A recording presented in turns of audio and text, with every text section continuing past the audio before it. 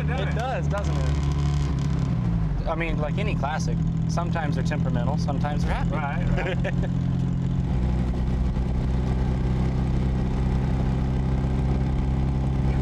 I like driving this thing. It's a lot of fun. right? It's a little go-kart. Welcome to an episode of Jay Leno's Garage, the car featuring today 1970 slash 71 Honda Z600 Coupe. These are great little cars, but the thing that really attracted me to this, I'm a sucker for father-son projects. You know, my dad used to help me work on cars, or I helped him work on cars, whatever you want to call it.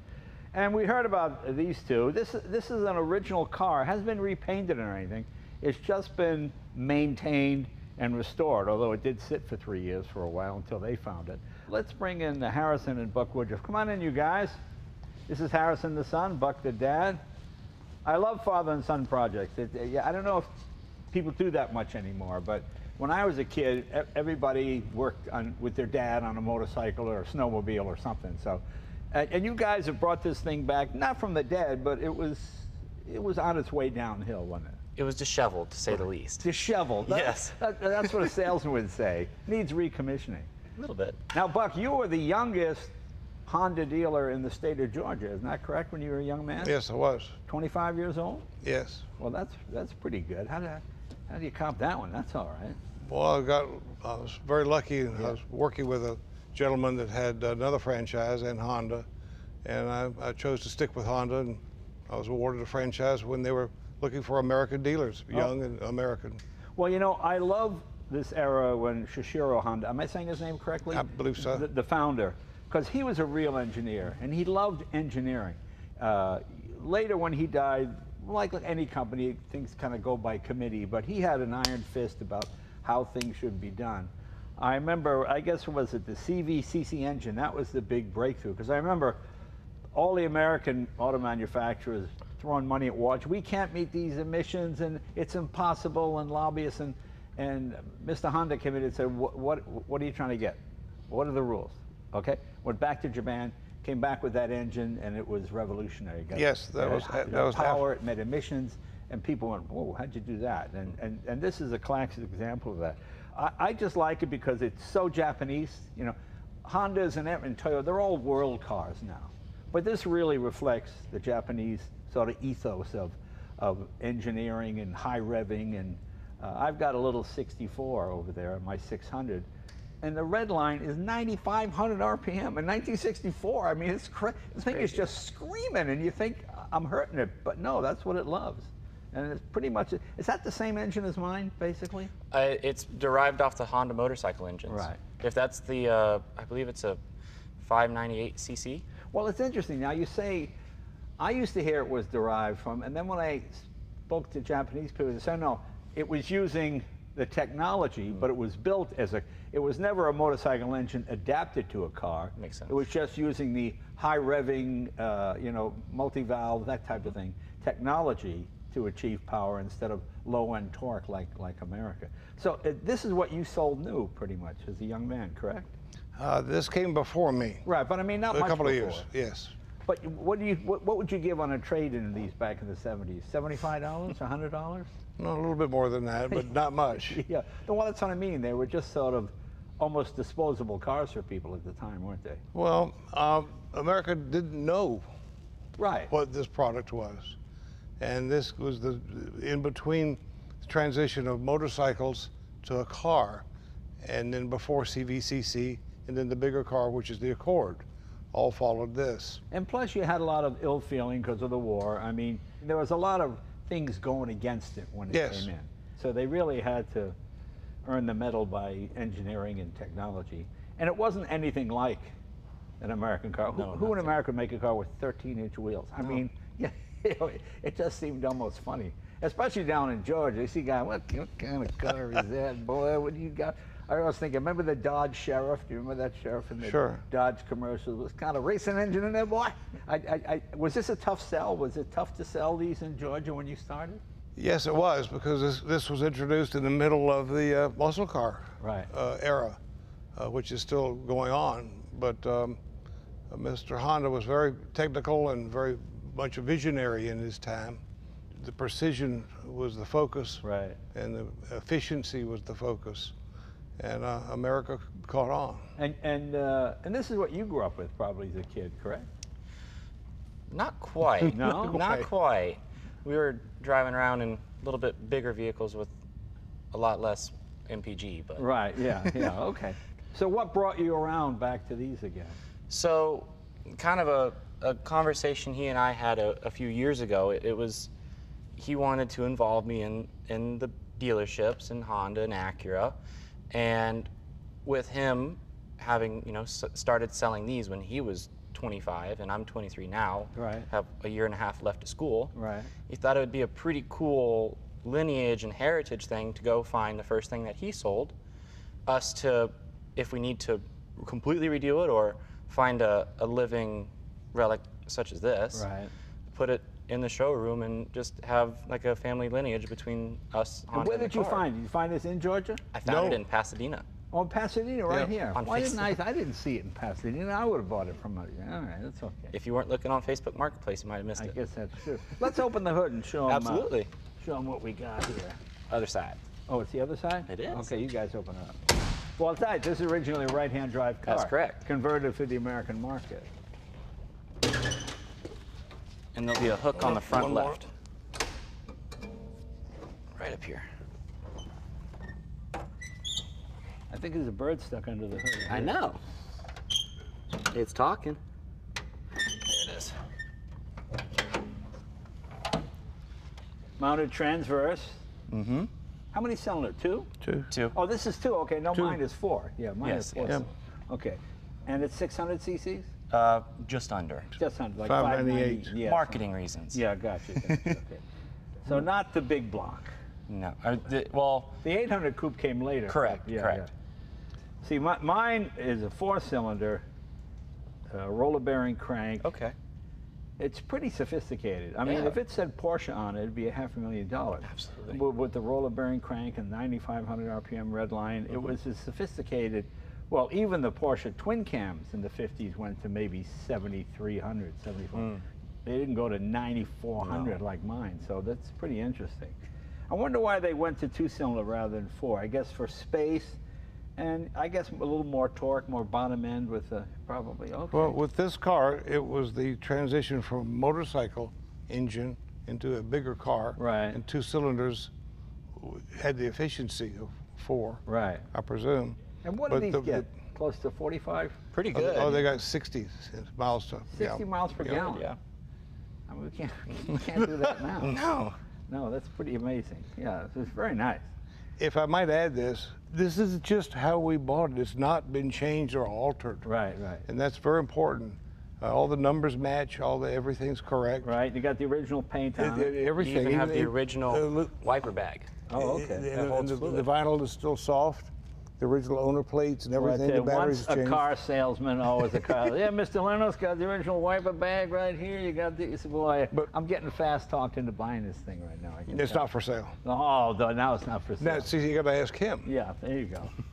No, very nice. I, I just like how comp- it is so different than opening the hood of anything American, especially in 1970. I mean, it just it doesn't bear any relationship to it. Uh, and what was the red line on this? Ooh. Does, did it come with a tach in the coupe? It does. It does. Okay. It's about uh, 75, It's 75 or 7200, 75. something like that. Yeah, that. but it'll stay there all day, won't Yeah, it? but yes. Yeah.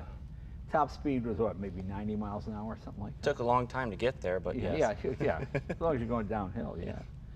Clutch Oh, into. Very cool. Well, let's walk around. Let's see. Will this, will this shut? Yep, right here. Lift her, yeah. Oh, there we go. And, and you even got the original toolkit and, We and do. spare tire, huh? Absolutely. So let me just grab the keys.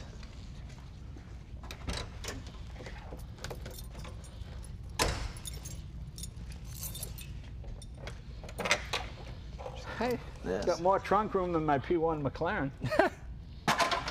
oh, there's your spare tire. Oh, you got, is that the original toolkit? It is. And what did you get for tools? What did they give you? They gave you a really wacky looking. Oh, this is part of the jack. Oh, I see. I see. I see. Hang on. Yeah. Multi-tool. Oh, oh I see. It, yeah, it's a okay. So you got all of every kind of. And what does this do? You can't find or buy Must- Oh, I like see. that. Oh, that holds. Oh, I That holds it Of together. course. There you go. Yep. There you go. You're not going to find this anywhere. No. Okay, there you go. Is that the original tire that came with it? It is. Okay, that's funny. We haven't pulled it out to see if it's. Um, we haven't pulled it out to see if it's to see if it's dry rotted yet. We don't really want to know. No, you don't want to know.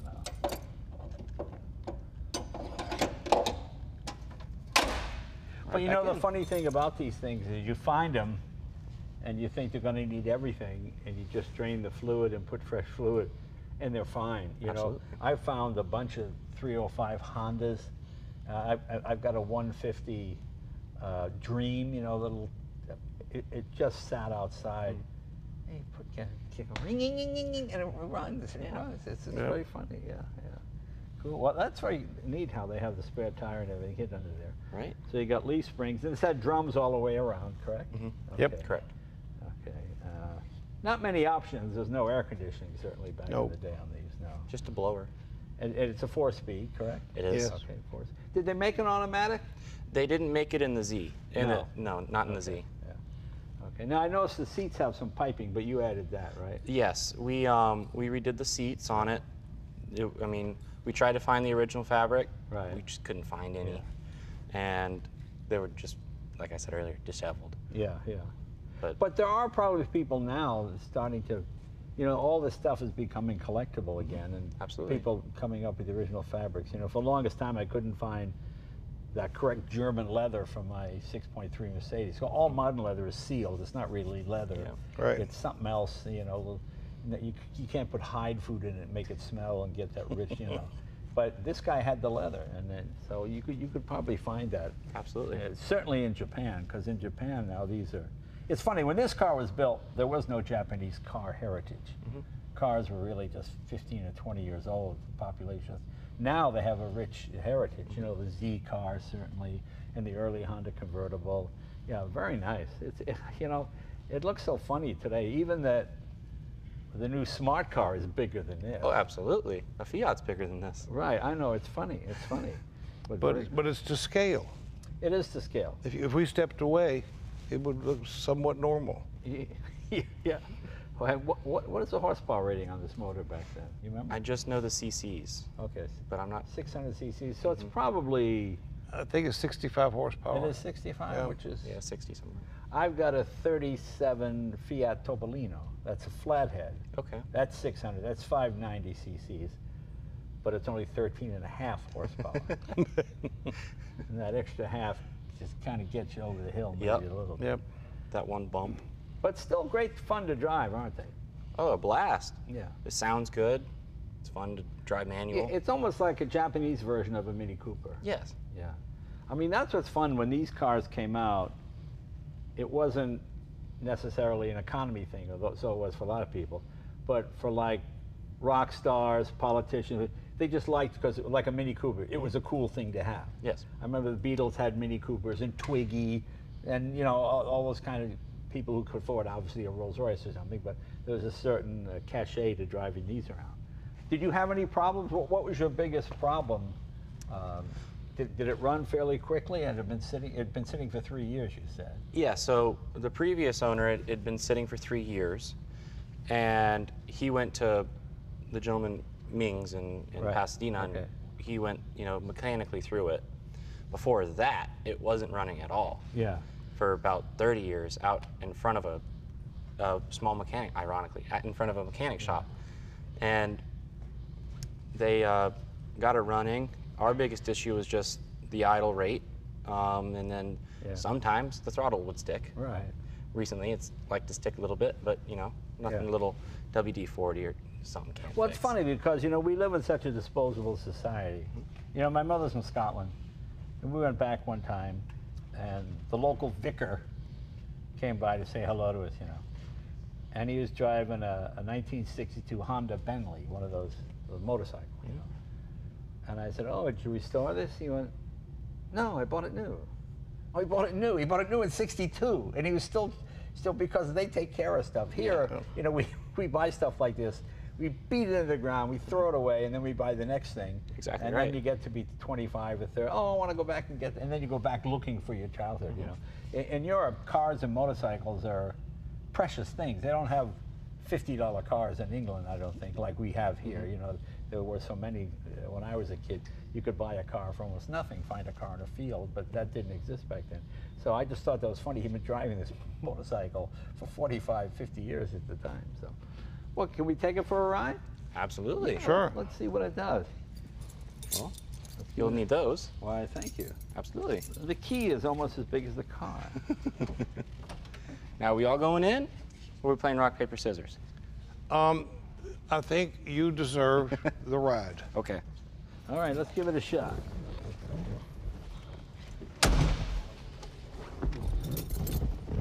Once you're in, there's plenty of room.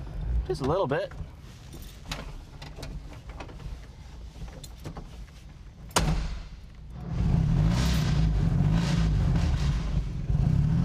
Original muffler. Original muffler.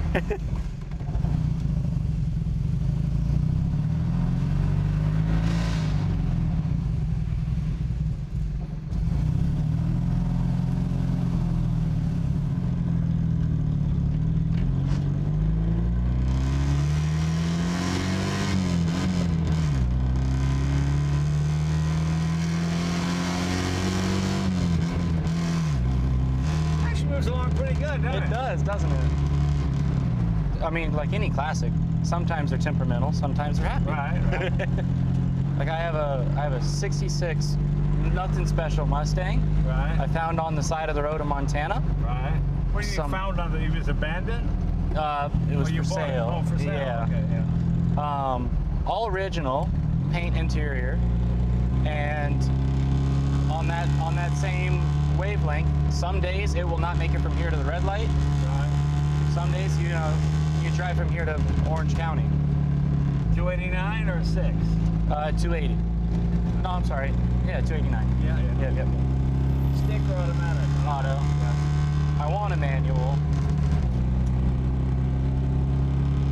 Well, you feel like you're driving, you know, you're involved. Yeah, you're having fun. Puts a smile on your face. That's my only gripe about some of these modern cars is there's just so many nannies. Right, right. You know, you never you're not you're not part of it as much as you are with something like Does this this. have discs in front or drums? Uh, it's drum. Yeah. Four-wheel drum, right? Yes. For drum, it's not bad. No, it's, it stuff's fine. yeah. You know, I'm quite comfortable in this car. There's all kinds Oh. of room. More room than in my Miura.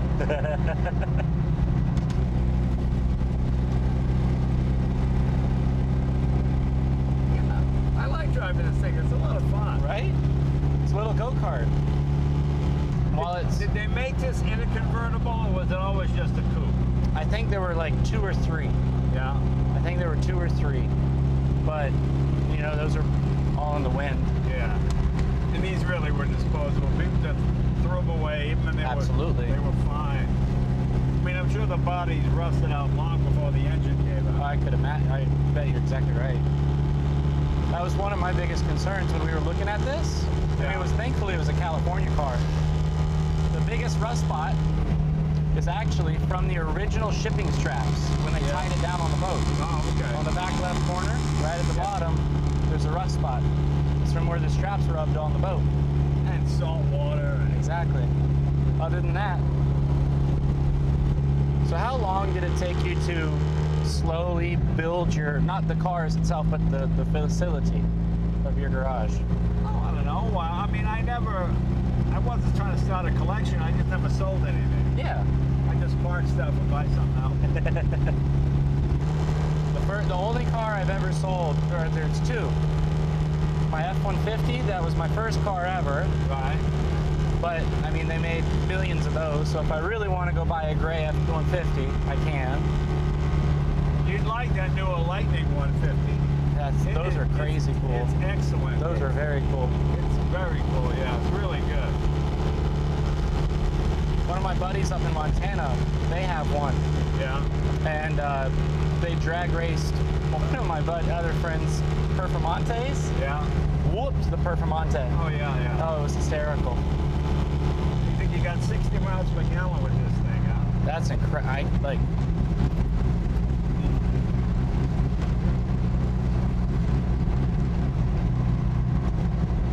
Makes me think we got a load of fuel, but I don't think so. Yeah.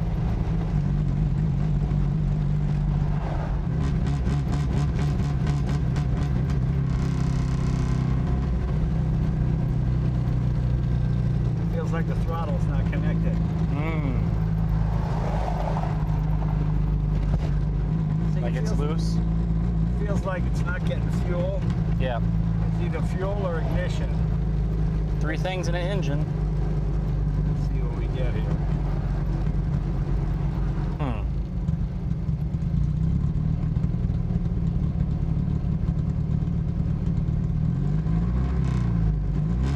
Now it sounds like it Yeah. came Now back. It's happy. Okay, let's see. Yeah. I think we got a fuel. Some gum, some fuel. Little gummy thing. I'll tell you what you do. Yeah. I know what'll fix it. Pop that gas cap. Okay. It's pressure. Yeah. Yeah. I bet you're right. Your pinhole, the pinhole in your gas cap is blocked. I bet you're exactly And right. we filled the tank up. So hang on.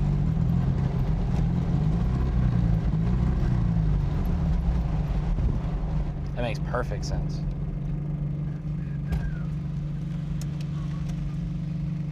Ugh. I'll snag that key from you. There you go. Sorry about that. No, that's all right.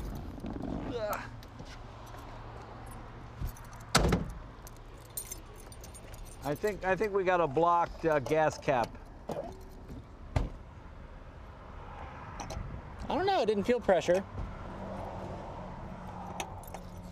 Gas cap off or on? Cap is off.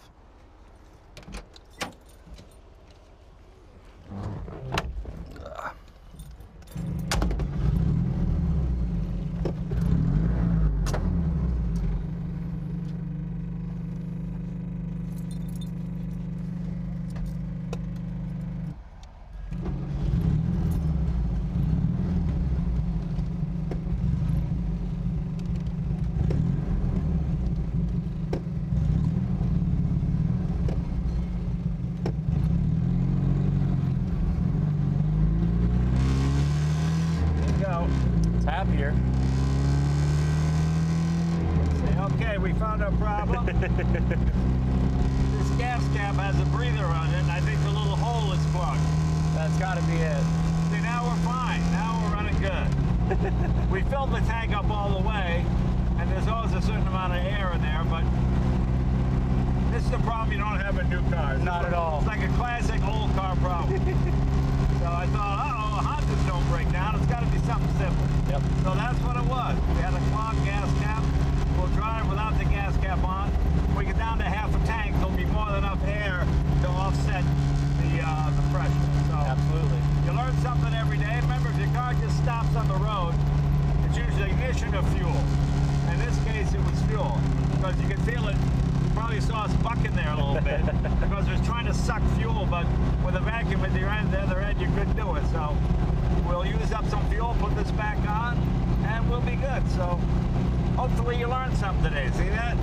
We'll see Right. you guys next week. Hell yeah. And uh, hey, thank your dad for me. Thank you very much. Bucks, thanks a lot, and uh, thanks for saving this little piece of history. it's, it's great fun to drive. So Absolutely. remember, check your gas cap. See you guys next week.